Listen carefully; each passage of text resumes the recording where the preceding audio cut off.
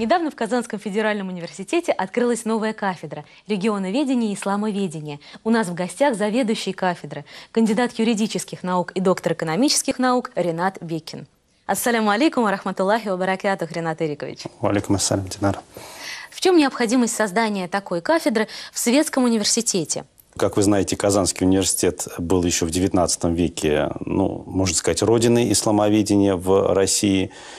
И э, рано или поздно должна была возникнуть мысль о том, чтобы возродить цикл исламоведческих дисциплин в стенах Казанского университета. Консолидировать э, все лучшее, что еще есть в исламоведении, э, собрать э, специалистов, ну, по крайней мере, если не физически всех перевести в Казань, то, по крайней мере, как-то привлекать их а, активно к нашей деятельности, к нашим проектам. В исламских религиозных учебных заведениях работа в этом направлении не ведется? Они не являются конкурентами э, Казанскому университету в том смысле, что они, их задача готовить специалистов э, мусульманских богословов, а задача светского вуза – готовить специалистов по исламу. Это должен быть э, человек, который умеет и может смотреть на ислам извне, даже если он является практикующим мусульманином.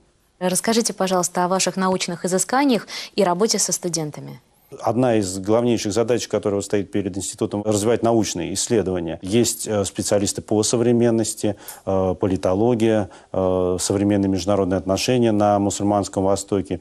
Вот я, в частности, вот отвечаю за такие направления, как исламская экономика и мусульманское право. Конечно же, стал вопрос, в рамках какой специализации мы будем готовить студентов. После некоторых, так сказать, раздумий мы решили, что, наверное, лучше, если это будет зарубежное регионоведение. Э, до этого этой специальности не было в э, Казанском федеральном университете. А кто ваши студенты? Они соблюдающие мусульмане? Мы не проводили опроса, являются ли они соблюдающими, но я думаю, что есть и мусульмане, есть и не мусульмане. Э, собственно говоря, главное для нас их интерес к тематике, потому что из практики есть, э, есть примеры, когда соблюдающие мусульмане не особенно э, вникают и не особенно усердствуют в изучении э, исламских наук и, исламоведческих наук. Поэтому, если люди целенаправленно шли на нашу специальность, я очень надеюсь, что это не просто так было, что им действительно это интересно и что они найдут себя в рамках вот тех предметов, тех дисциплин, которым их будут обучать.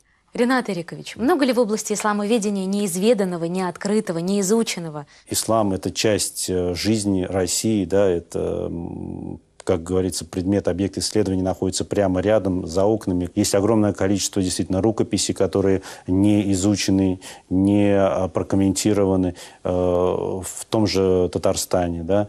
Есть огромное количество тем просто совсем не изученных. Есть э, вещи, требующие нового взгляда, которые бы в свое время, может быть, э, изучались там в советское время, но э, под другим углом. Очень много возможностей – для студентов, для самореализации. И поэтому вот эти пути э, у каждого действительно будет свой. Но надеюсь, что вот э, все они где-то в какой-то точке пересекутся, не забудут друг друга, не забудут нас, там, своих преподавателей, учителей. Э, и мы тоже, надеюсь, будем отслеживать, так сказать, их жизненный путь и помогать им по жизни. Большое спасибо за интересную беседу. Я желаю вам, вашим преподавателям и студентам больших творческих успехов и научных открытий. Спасибо большое.